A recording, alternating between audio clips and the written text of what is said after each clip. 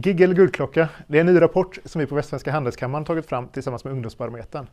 Där har vi tittat på yrkesverksamma i åldrarna 25 till 35 från Västsverige och vad de tycker, tänker och funderar över när det kommer till sin arbetsplats och arbetsliv. Länge har man kanske pratat om unga som värderingsstyrda, jobbhoppande, vill snabbt framåt i karriären. Eh, och kanske har det därifrån fått epitetet giggare. Vår rapport visar en lite annan bild. Det första jag tänkte lyfta, det handlar om ett trendbrott och det handlar om pengar. När man ställer frågan till unga, vad är viktigast för dig i ditt arbetsliv? Så svarar 82 procent att tjäna riktigt mycket pengar är ganska viktigt eller mycket viktigt. Det är 17 procentenheter högre än vad det var förra gången man ställde samma fråga. Och faktum är att man under de senaste gångerna man ställt den frågan sett en nedåtgående trend när det kommer till svar, ah, svarsalternativet.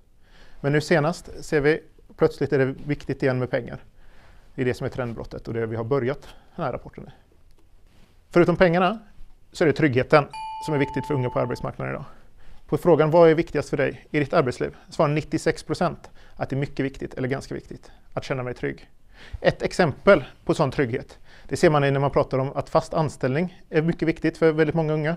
Kollektivavtal är också en annan del som är viktigt för väldigt, väldigt många. Men när det kommer till att behålla kompetens och vad som är viktigast för att stanna kvar på en arbetsplats, då är det du som ledare som är i topp. För det viktigaste för unga i valet av en egen arbetsplats, det är arbetsklimatet. Det handlar om trevliga kollegor, det handlar om en bra balans mellan arbete och fritid och det handlar om ett tydligt ledarskap. För sanningen är att unga kommer lämna en arbetsplats om det inte fungerar.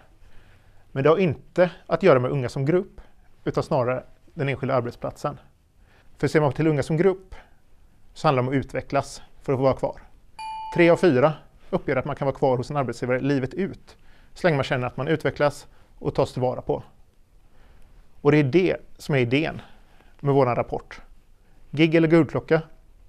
Unga vill inte gigga, unga vill inte byta jobb.